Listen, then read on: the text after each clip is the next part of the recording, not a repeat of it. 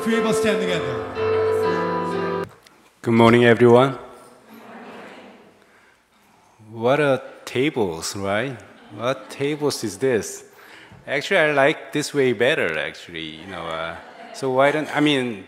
Honestly, if somebody new from neighborhood or from outside and visited church like this, they'll be a more feel comfortable, right? Yeah, that's a good idea, I guess. And thanks for inviting me again. Uh, this is my uh, third time to uh, preach in this church. And every time I come here, drive here, I change the, you know, a change of the leaves. And that makes me uh, feel like, you know, the grace of God. Uh, that changes is good because it need to be changed. So every time I feel, you know, uh, the grace of God, I really feel like you know God's love doesn't stay like in the same way forever. His love is everlasting because He can change whatever need we have every time. So that makes me uh, reminded of, of that. So questions. We ask questions all the time. We ask questions out of curiosity, questions of direction, questions of affirmation or objection. We ask closed questions like yes or no. We ask open questions to invite others into conversations. Questions often reflect our relationship with the person being asked. We choose what to ask, how to ask, depending on what we think about the person. We may like him, like the person, or dislike the person. We may agree or disagree, whether we uh, respect or ignore the person being asked. Our questions also expose who we are, our values and attitudes in life.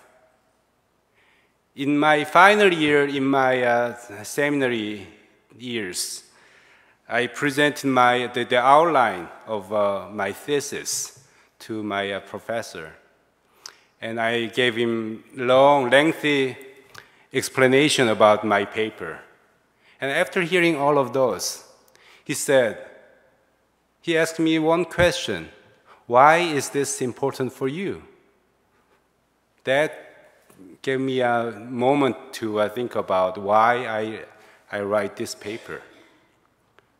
I also remember another question uh, in the presbytery of Middle Tennessee in Nashville, uh, where I presented my sermon and my uh, testimony to the pastors and elders in the presbytery meeting uh, to, to be approved of my ordination.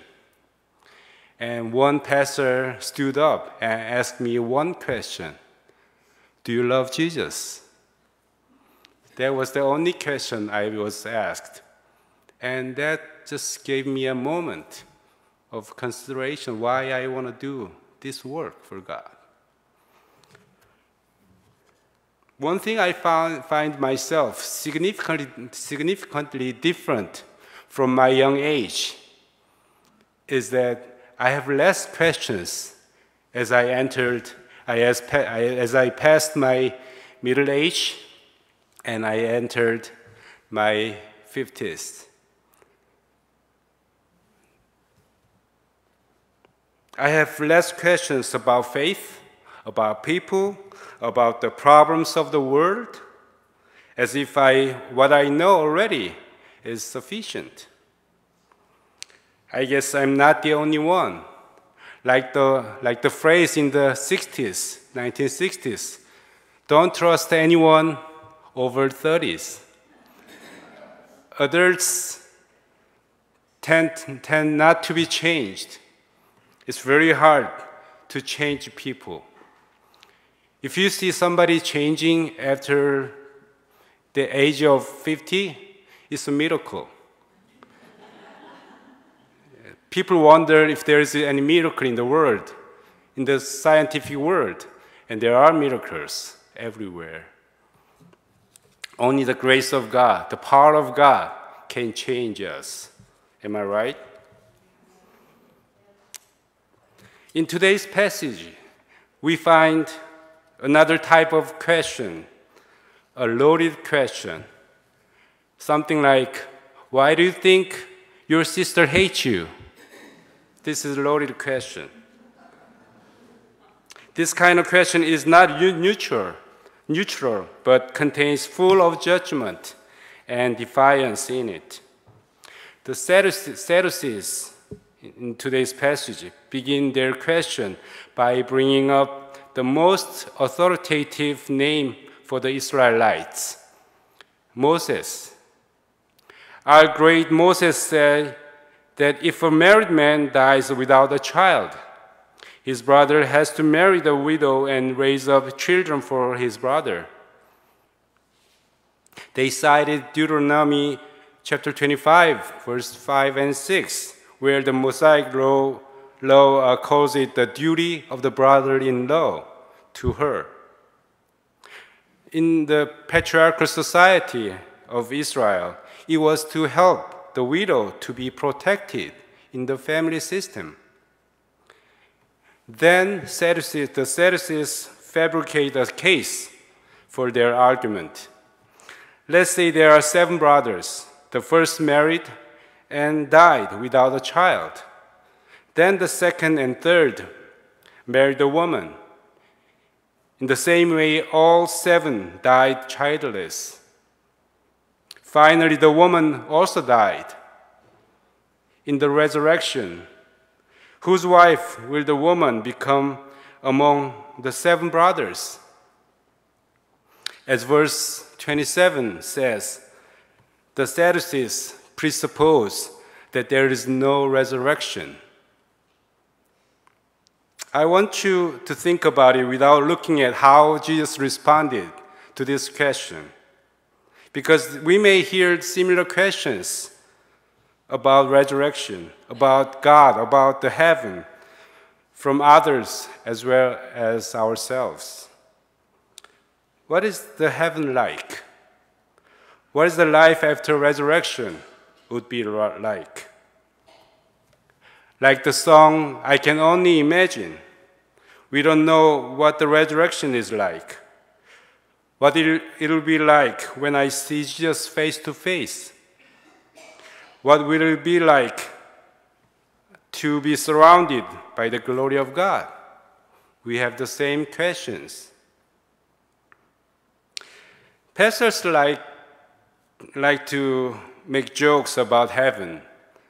For example, they say, we say, uh, there are more pilots in, in the heaven than the pastors because pastors make people sleep, but pilots make people pray pray multiple times, right? There's another funny story that, you know, uh, Jesus was uh, keeping the door in the, in the entrance of the, of the heaven called the pearly gate. And there was an old man coming in, and Jesus let him stand in the judgment, judgment you know, table and asked him a question. What did you do for a living on earth? And the old man said, I was a carpenter. And Jesus asked him back, thinking about his own earthly life. Did you have a family? And the old man said, I had a son, but I lost him. And Jesus leaned forward a little bit and asked him again, Can you tell me about your son? And the old man said, He had holes in hands and in his feet. And Jesus leaned even more, more forward to him and asked him, Father? And the, the old man replied, Pinocchio? So that's the kind of joke the pastors say. There are a lot of funny stories about heaven, but we also hear serious, serious questions about resurrection. Can I see my dead dog? in the heaven? If somebody lost his limbs in an accident, can he have his limbs back? in the heaven? Will I see the one who abused me in the heaven? There are a lot of questions we raise about heaven. Before we see how Jesus responded to the question of the Sadducees, it is important to know that who the Sadducees were because this, their positions on faith and the word still resonate with a lot of Christians. They were wealthy, they held powerful positions, including the chief priest and high priests. They held the majority of the 70 seats of the ruling council called the Sanhedrin in the Jerusalem temple, which was the final authority on making decisions in the life of the Jews in the time of Jesus, like the Supreme Court in the United States. The Sanhedrin later arrested Jesus in the Garden of Gethsemane and brought him into the temple court. Religiously, as described in today's passage, the Sadducees did not believe in the resurrection. They regarded the only, only the Pentateuch, the first five books of the Old Testament, are the Word of God, rejecting other books in the Old Testament, like the historic books, the poetic books, and the prophetic books. It is very significant because the prophetic books describe God's judgment and final redemption of God's people. And they reject that idea. So, what does it mean that they acknowledge the Moses law only while rejecting the idea of God's final judgment? What does it mean that they did not believe in resurrection of the dead? It means that they focus solely on how to live on earth. It means they understood the Mosaic law as the end of the faith, not as the tool to be intimate with God. What is the result of such faith?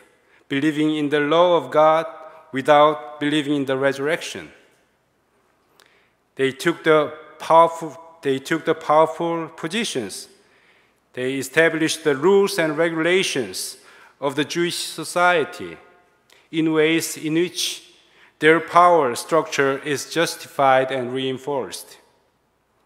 It is not surprising to know that they supported and cooperated with the Roman Empire, the greatest power of the world in his time, playing the representative role of the Roman Empire like a puppet.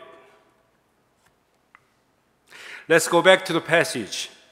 To the questions of the Sadducees, if all of seven brothers died and the wife also died, whose wife she would be in the time of resurrection? Jesus responded in verse 34 that the resurrected people neither marry nor are given in marriage they can no longer die, for they are like the angels. They are God's children, since this is since they are children of the resurrection. The only matter for them is they are God's children. No other names are necessary for them. However, even though this is a good answer, and we understand what he is talking about. But Jesus did not stop there and presented a very important idea about resurrection to them. In verse 37, he continues Moses showed that the dead was raised as he spoke of God as the God of Abraham, God of Isaac, Isaac and God of Jacob. If you read this verse more carefully, you may raise two questions here. First, It is not Moses to say, to express the God of Abraham, God of Isaac, and God of Jacob. In Exodus 3, when Moses met God for the first time in the burning bush, it was God who introduced himself as the God of Abraham, God of Isaac, and God of, the, God of Jacob. So we can say this is an inaccurate uh, citation of the Exodus by the author of the Gospel of Luke. Second, it does not seem to be appropriate to mention the names like Abraham, Isaac, or Jacob to conclude that God is the God of God is not the God of the dead, God is the God of the living because they were all dead. I struggle to connect this discrepancy and to understand what the Gospel of Luke really means by this. Jesus mentioned the names of uh, founding fathers who were already dead to claim that God is the God of the living, not God of not of the dead. Maybe this is the key to understanding of the resurrection. Maybe this is the key to making sense of the connection between our life on earth and the everlasting life in heaven.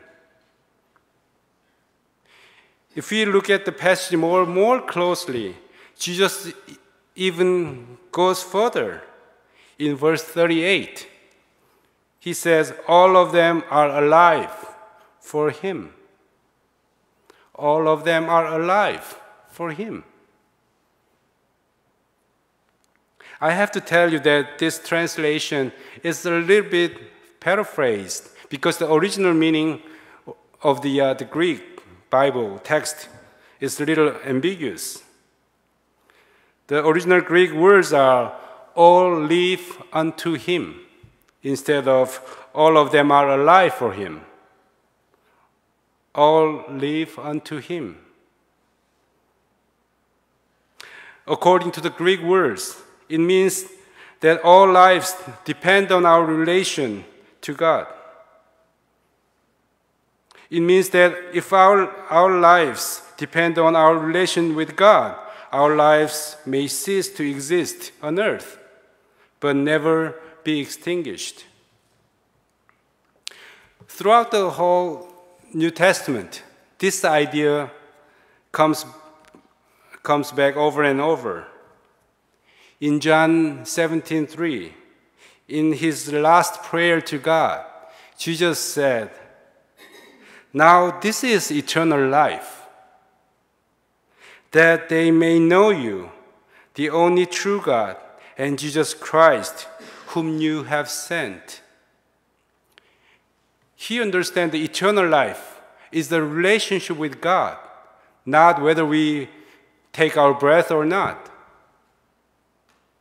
Eternal life is to know God and Jesus Christ. Likewise, in John chapter 11, 25, Jesus says to Martha, the sister of Lazarus, that I am the resurrection and the life. He who believes in me will live, even though he dies, and whoever lives and believes in me will never die. Do you believe this? Maybe Jesus asked you the same question. Do you believe this? If we are connected to God, it's not the death who can seize that relationship with God.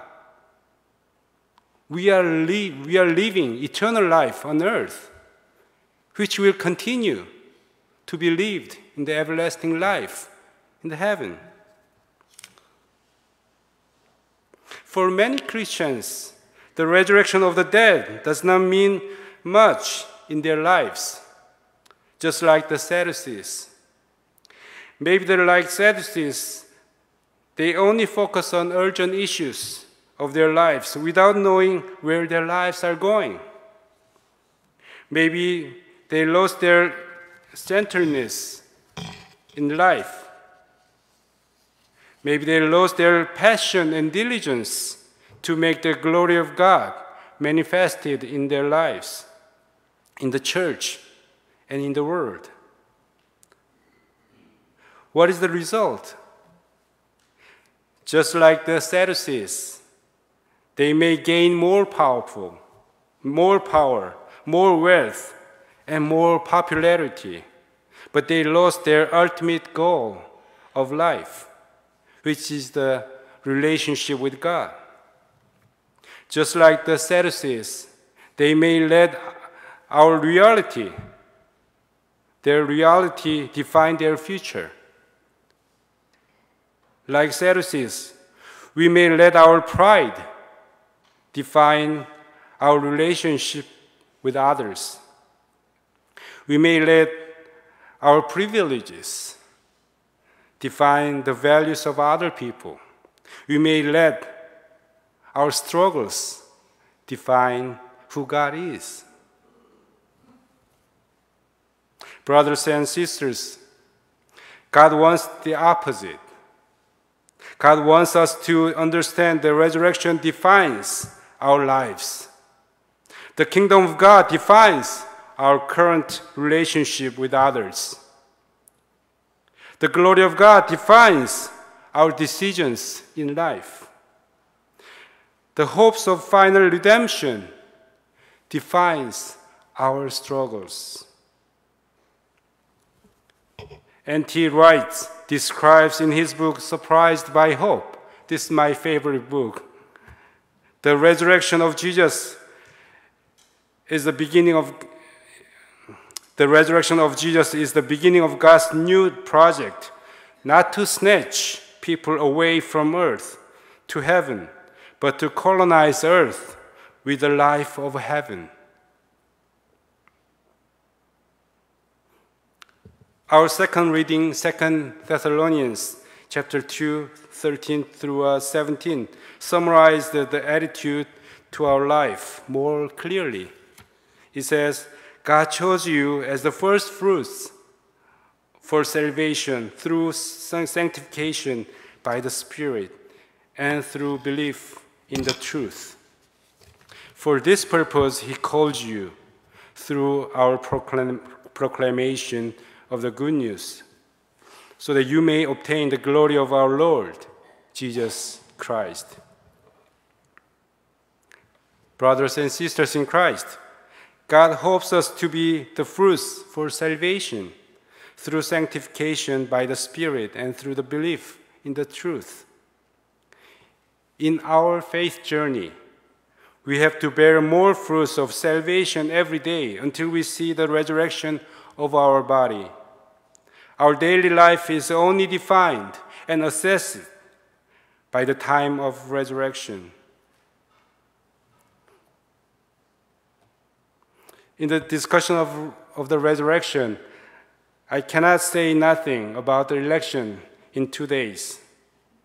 I can't make a decision for you, but keep in mind that the resurrection and the kingdom of God is the most important factor to make your decision. This is the touchstone of Christians in whatever we do and whoever we have relationship with on earth. I still listen to the song that I learned from the Mendon Church choir in the service three weeks ago. He made a change. I listened to the song more than 10 times. He made a change in the way that I'm walking. He made a change in the way that I'm talking.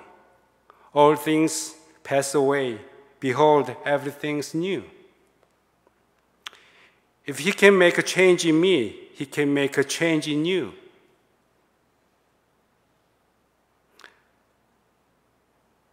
May God help all of us to live our hope for resurrection in our daily life. Amen.